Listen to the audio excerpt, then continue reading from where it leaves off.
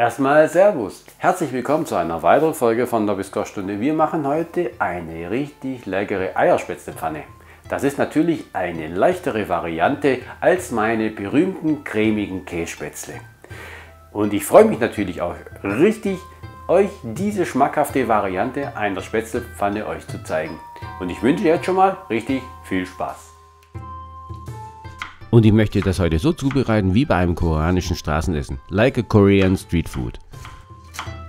Dabei steht der Wok im Mittelpunkt und alle anderen Zutaten sind schon vorbereitet. Deswegen schneiden wir die Zwiebeln klein, auch den Speck und wir raspeln noch Käse. Weiter rühren wir dann schon mal den Teig für die Spätzle an, weil die müssen nachher auch schon fertig gekocht sein. Und bei der Spätzle gibt es einfach den klassischen Teig, 400 Gramm Mehl, 4 Eier, 210 Milliliter Wasser und ein bisschen Salz.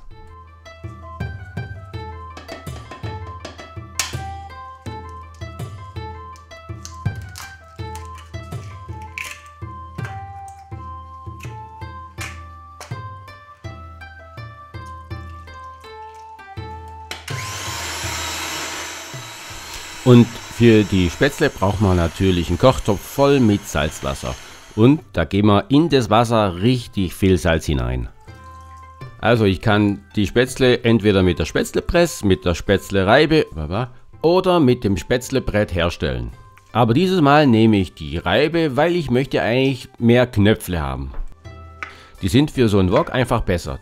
Die kann man dann einfach besser durchrühren. Ja, aber Wok, in den geben wir Butterschmalz und in die Pfanne, wo nachher die Pilze, die Champignonpilze hineinkommen, geben wir noch ein bisschen Rapsöl rein. Und für die Eierspätzle brauchen wir natürlich auch nochmal Eier. Und die bereiten wir dann mal schon vor und geben Milch hinzu. Man könnte theoretisch daraus auch Rührei machen. Jetzt haben wir alles vorbereitet.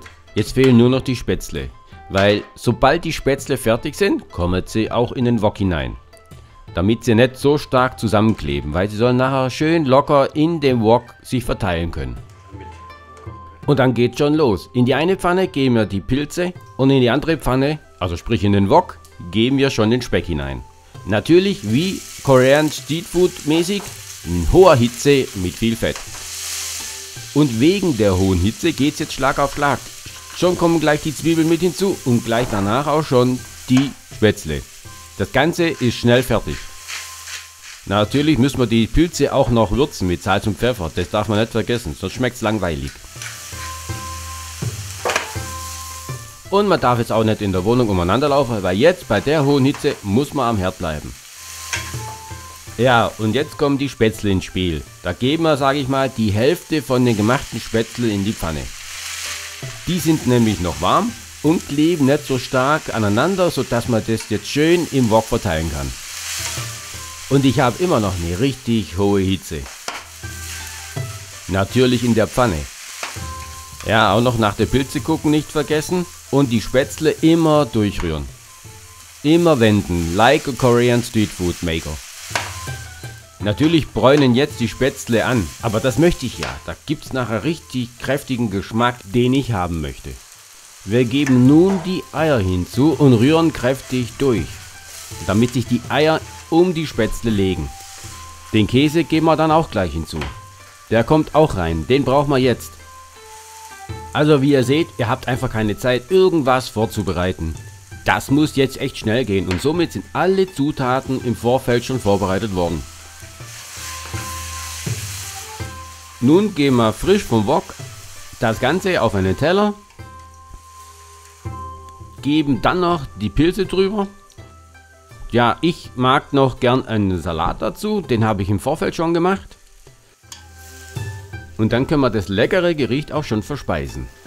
Ein Gericht, wie ich es haben möchte. Ja, also probiert's mal, bereitet alles vor und dann alles in den Wok bei hoher Hitze. Es ist wahnsinnig lecker. Aber wie ihr seht, wir sind wieder beim Probieren angekommen und da wisst ihr auch natürlich, dass wir am Ende angekommen sind bei dieser Folge von Dobbys Kochstunde. Es würde mich freuen, wenn es euch gefallen hat und ich würde mich natürlich auch tierisch freuen, wenn ihr bei der nächsten Folge von Dobbys Kochstunde wieder dabei sein würdet. Und ich sage Tschüss, bis zum nächsten Mal, bleibt gesund und bleibt am Ball.